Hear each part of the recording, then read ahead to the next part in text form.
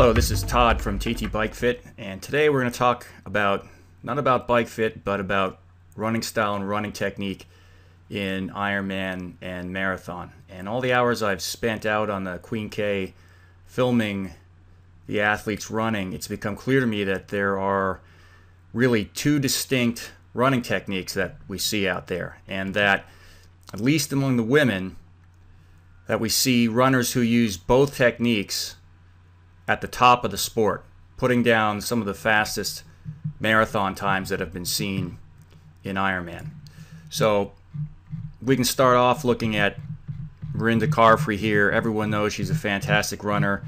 She's done a 252 in Kona, has the fastest overall time run split recorded in Kona, and really she is a classic runner. Her style is the style that you know everyone talks about, everyone tries to emulate. Um, if you look at the elite marathoners um, from Kenya, you'll see that this is basically the style that they use. So what we notice about this style is that there is a good bit of vertical movement and a good deal of flight. So from the toe off period through the landing,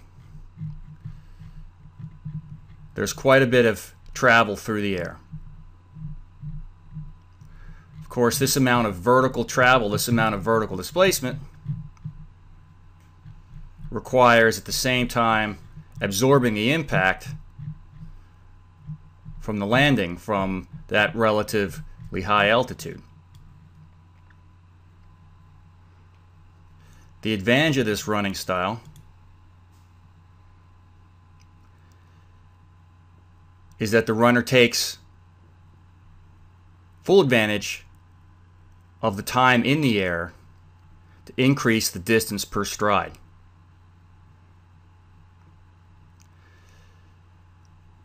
This is, in fact, something that becomes absolutely necessary at certain run speeds. This is why you will see the elite runners always running with this style because for them to move at five minute per mile or faster paces, the only way it's possible to do that is to fly a uh, certain distance per each stride.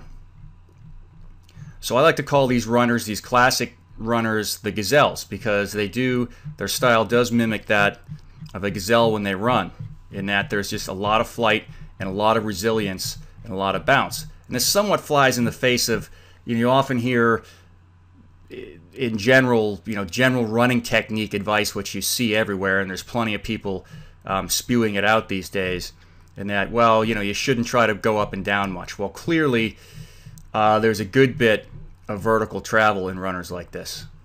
In fact, it's absolutely necessary when we talk about the physics of running. It's absolutely necessary to get some vertical movement and some vertical velocity for the runner to travel this far in the air, to cover this much ground while airborne. Now, so what about the other running style? Well, I call these runners gliders. And you'll see that these runners have more of a skating motion. And Chrissie Wellington is certainly one who has also run a 252 in Kona, but practices this, this technique. So as opposed to the gazelle type of running style, which we just saw Mirinda Carfrae exhibit, exhibit,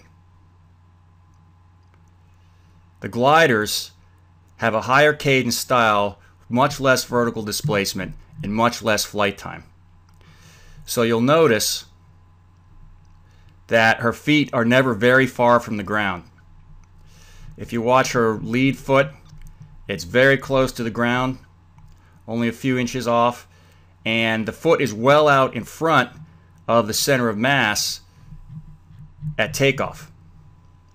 This is quite different from what we see with the gazelles, where the takeoff typically occurs with the foot back here under the center of mass. So we'll compare these side by side here in a second. If we look at the cadence, just compare these two runners, even though they're both running approximately a 252 marathon, uh, Chrissie's cadence is around 96, 97, and Mirinda's is closer to 90. That's because she spends more time in the air. So if we put the videos side by side, actually that's Cait Snow right there. So let's uh, switch. Let's switch over to uh. Okay, so here we have Rinny and Chrissie, and they're both, in each case, about to leave the ground with their trailing foot. Notice the foot more under the center of mass here with the gazelle style, but the more open stride, as opposed to the 90 degree angle, the more obtuse angle here in the lead leg. So if we start these videos playing, we can see she's the difference in the uh, strides. The faster cadence here with Chrissie and the reduced flight time.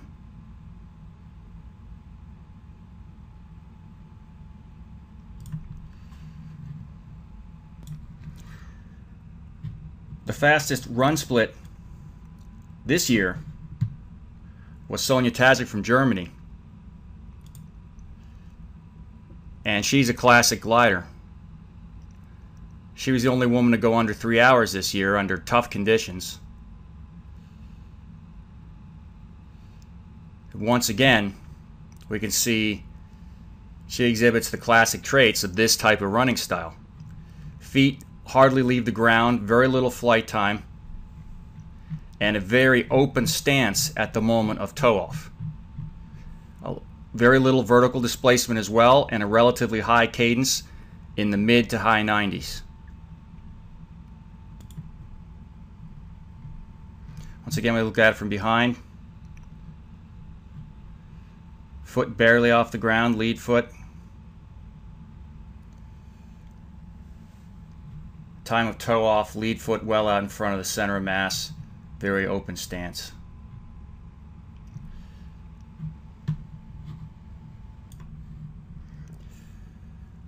Gina Crawford from this year at Kona, another glider. You will will note that a lot of these glider runners are smaller stature runners with shorter legs. Although Chrissie doesn't fall into that category at all, and in fact, Leanda Cave exhibits this style as well, and certainly she doesn't. So we really do see quite a few top female Ironman runners using this style. Cadence, mid to high 90s. Very little vertical movement. Very open stance at toe off. Feet very close to the ground. Of course, the best male runner this year and the winner at Kona was Pete Jacobs. And we see fewer men for sure exhibiting this gliding type of running style, the uh, most of the better men runners tend to show the gazelle type style, which we see Pete Jacobs here exhibiting, similar to Mirinda's style, in that at toe off, we see the front foot under the center of mass, we see the 90 degree bend in the front leg, leading with the knee as opposed to leading with the foot, and a good amount of flight and vertical oscillation with each stride. And we have some even extreme examples from this year. Faris Al Sultan, clearly a gazelle kind of runner.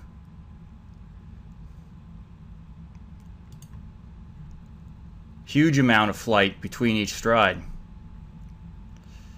But sort of shattering some of the uh, assumptions about cadence.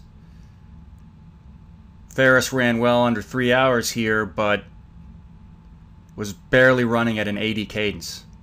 And largely that had to do with the amount of time he spent in the air on each stride.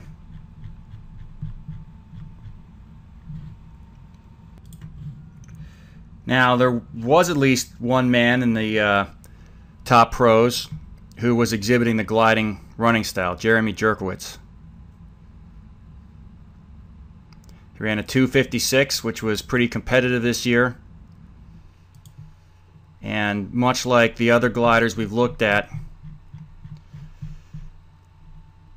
higher cadence over 90, very open stance at toe off. Or it's leading with the foot as opposed to leading with the knee and relatively little vertical displacement.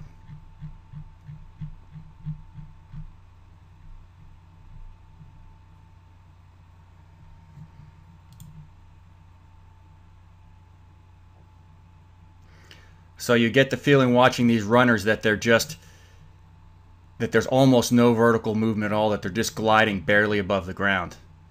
And while we progress right into uh, Matthew Russell here, he's the complete opposite. Classic gazelle style. Obviously, he did a great run split, a lot of flight time, a lot of vertical oscillation, and a slower cadence, a sub 90 cadence, more towards mid 80s. Now, if we look at even at 70.3, uh, Cait Snow has shown herself to be one of the uh, better long course runners out there for sure, having pulled off a 252 in Kona as well, um, and some blistering times on 70.3 courses. And she's an extreme example of glider style running. Once again, very little vertical oscillation. Very open stance, very open stride.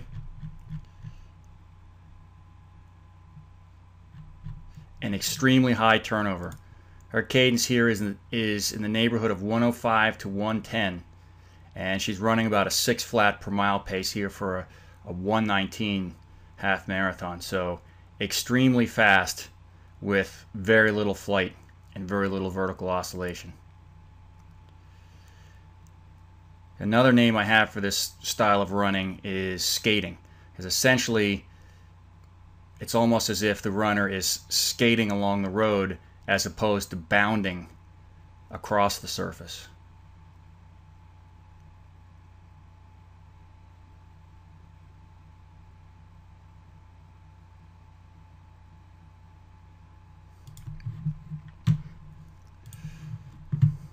Very uh, distinct comparison here if we uh, look at Kim Loeffler in the same race, who also had a very fast time 122, but slightly slower, and she did it with the classic gazelle style. A lot of vertical oscillation, a lot of flight. Take off with the front foot under the center of mass.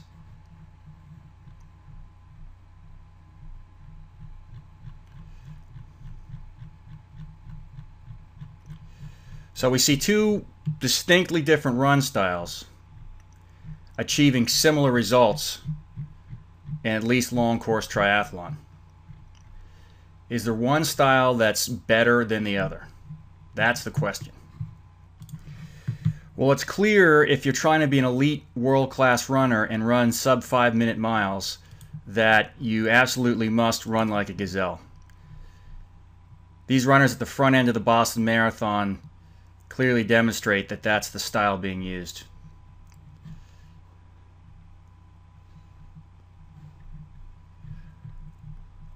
Huge amounts of flight time here. Take off with the lead foot under the center of mass. Lots of vertical oscillation. Four to six inches of vertical travel.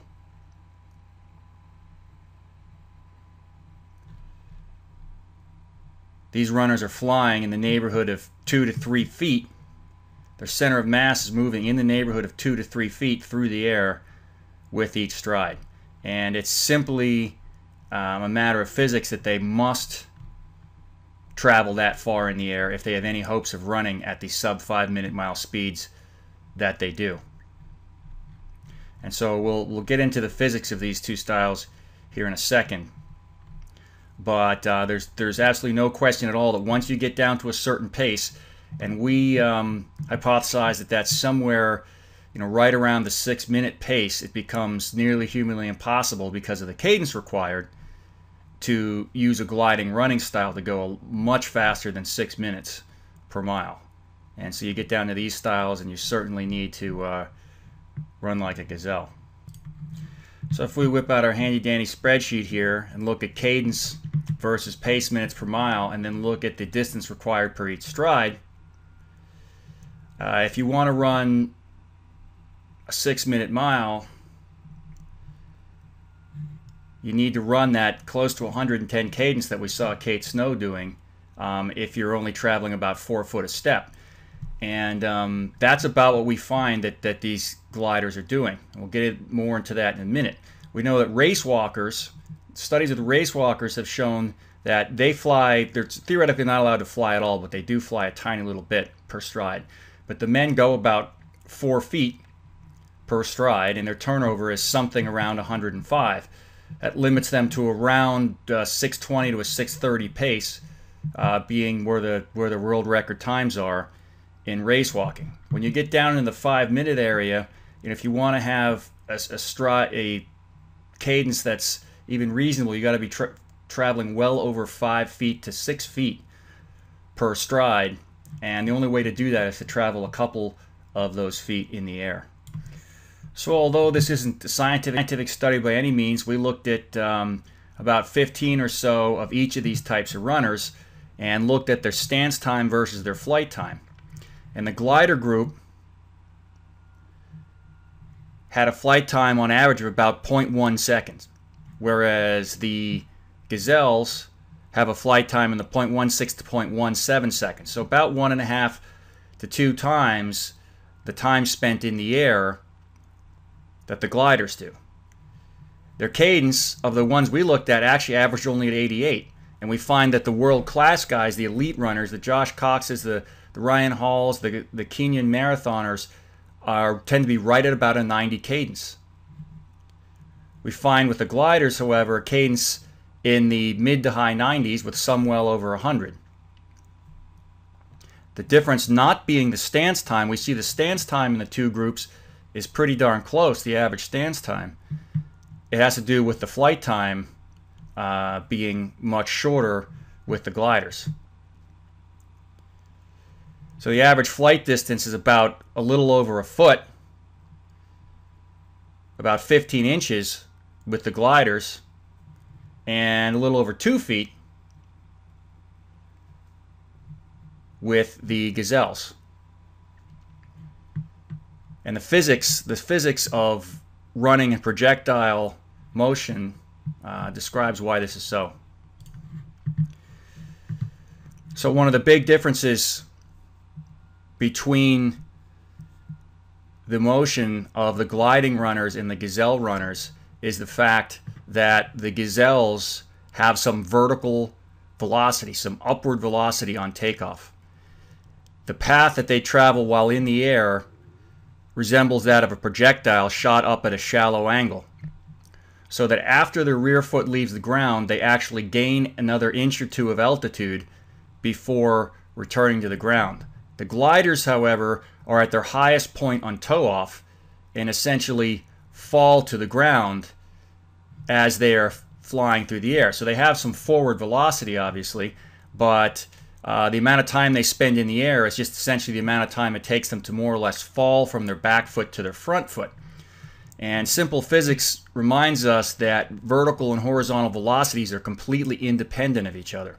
So the amount of time a runner is going to spend in the air has absolutely nothing to do with how fast he is traveling or what his pace is.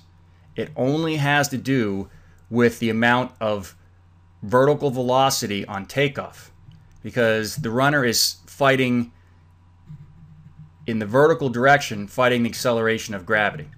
So, however much vertical velocity there is, will project the runner up and then he will turn to the ground with the same velocity they left the ground, as far as the vertical motion is concerned. So clearly, the gazelles have more force applied in the vertical direction to give them this increased vertical velocity and this gain of altitude between each stride. The gliders are using almost no vertical force at all and are essentially traveling. You know, I show a very small Vy here. There may be essentially no Vy, uh, and that that essentially all the force is applied in the forward direction. So what I'm getting at here is that the, the glider style may well be a more efficient running style, at least up to certain speeds. This vertical motion requires some amount, the vertical motion the gazelles requires some amount of energy expenditure and force in the y direction, whereas there's none of that being used with the gliders. Now, the payback for this is the gliders have to have a faster turnover rate to run the same speed as the gazelles. So the question is, is that more efficient than using the extra energy required to have the projectile vertical motion here? And that's something that's uh, certainly a subject for further study. It's certainly possible possible that the, that much of the vertical force, vertical motion, vertical velocity in the gazelles is obtained through spring action, and that it's not an active muscle force contraction, but it's essentially the springing back of the connective tissues. Uh, the gliders certainly aren't exhibiting that at all, and um, it, then they don't need it. And now maybe that's maybe that's what separates the gliders from the gazelles. It, it may be a physiological difference, but I think um, you know when you're talking about an age grouper that there are some interesting implications here. And what I mean by that is if you're really only trying to run between seven and minute seven and eight minutes per mile, and certainly for just about any age grouper, um, running a seven minute pace in an Ironman would be uh, pretty outrageous. Um, for women, obviously, it puts you in the in the pro ranks uh, for the most part. Um, you know, and still would be excellent for men, and, and even down to 7:30 certainly. Uh, and so, you know, if that's if that would be a great result, then you really don't need to travel that far per stride if you have a reasonable turnover rate. You don't really need to fly through the air like Mirinda does or like the elite marathoners do. You just need to turn over, say in the low to mid 90s, and travel about four foot per step. Now, just with some fairly big walking steps, you can travel three feet. So you need to get about a foot, a foot in the air. And that's essentially falling off of the back foot, as we talked about in the physics section, and extending that front leg, that front foot forward, getting that swing, which essentially drags your center of mass about a foot forward as you're extending out front.